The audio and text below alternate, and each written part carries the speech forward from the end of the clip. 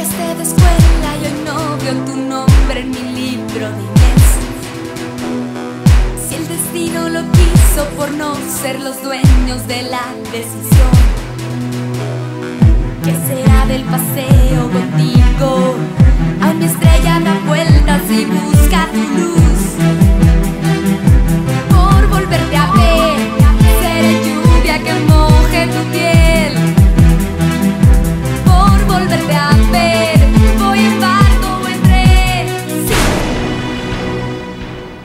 Thank